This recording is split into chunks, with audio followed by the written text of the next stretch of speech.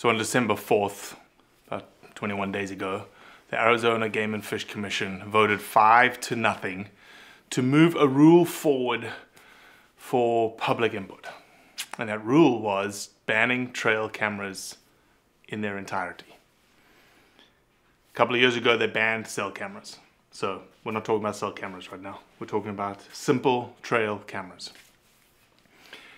And it has caused a, whew, a shitstorm, uh, fractions of hunters, uh, some pro cameras, some against cameras, a lot of public opinion. You're not going to get public opinion from us, but rather we're going to just look through the facts. Let's think through this a little bit because I think that nobody is really thinking.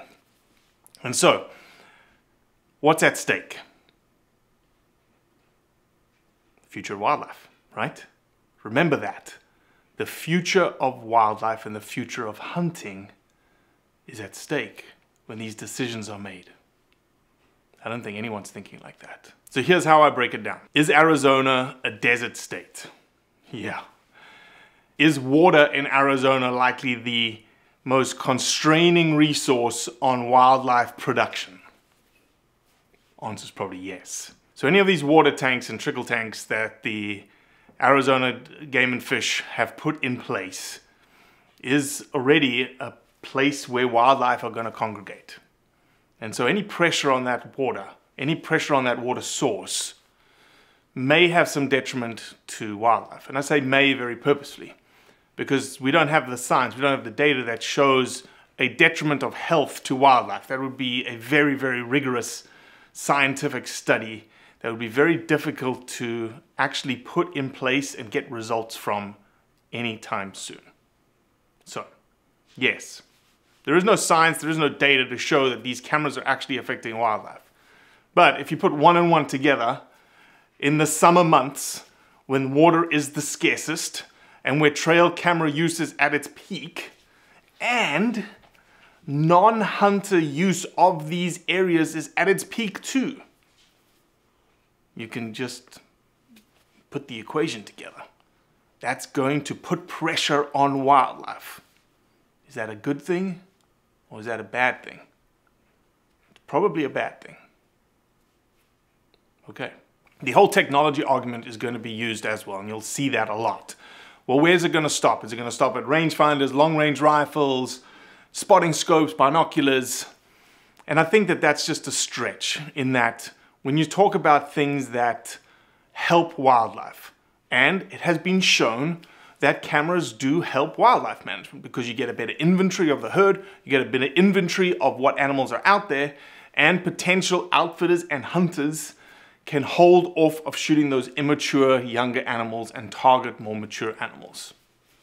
That has been shown to be true. I don't have the science to show that it's true, but anecdotal evidence by speaking with outfitters and other people that's what they tend to find. So on January 1st, this ruling goes to public comment. And I was fortunate enough to talk to the commissioners. I actually spoke with two. I spoke with Chairman Davis and I spoke with Commissioner Goughnour.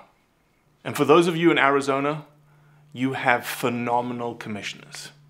And I say that because these two individuals, you can hear them speak to what their mission is.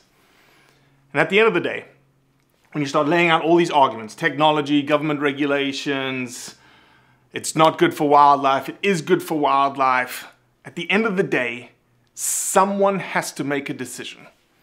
And in every state, the commissioners of the wildlife department, just like Arizona, just like the chairperson Davis and Commissioner Goughnour, they have to make a decision.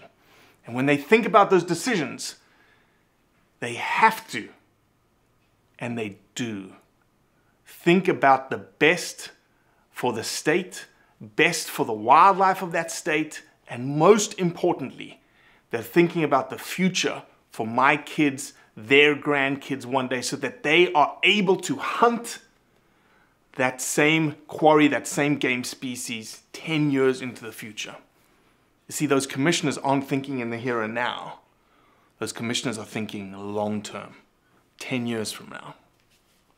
So if you had to ask yourself, what would you do? What would you do with that thought pattern in your brain? That is, what is the best for the future of wildlife in the state of Arizona? And what is best for the future for my kids and my grandkids one day to be able to hunt that wildlife? Did that change your decision? That make you think a little bit more critically? I hope it did. We'll see. Stay tuned for that conversation. It's coming this week. And all we ask you to do is just think. Think what's good for wildlife beyond this decision, beyond this regulation. Every time you post, every time you do something, I want you to think is what I'm doing good for wildlife, good for hunting, or not? Because the more we start thinking, the better our chances will be for having this thing around in the future. Merry Christmas, everyone. Hope you have a phenomenal 2021.